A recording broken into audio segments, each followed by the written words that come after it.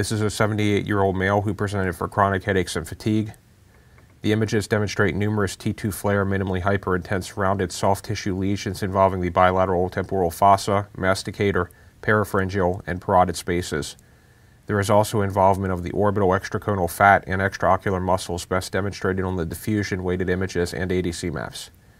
In addition, the ADC maps better demonstrate the degree of masticator and parotid space involvement. In retrospect, there is abnormal T2 FLAIR hyperintense signal within the medial rectus muscle on the left as well as within the pterygoid muscle complex on the left.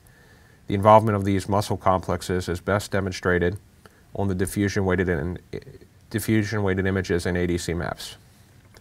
There is also involvement of the enlarged left adenoid. The imaging findings are suggestive of an infiltrating hypercellular tumor. The main differential is lymphoma versus metastatic disease. This is the case of biopsy-proven chronic lymphocytic leukemia.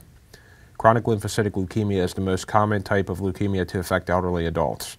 The American Cancer Society reports that there will be about 15,720 new cases of chronic lymphocytic leukemia in 2014, with CLL accounting for approximately one third of all new cases.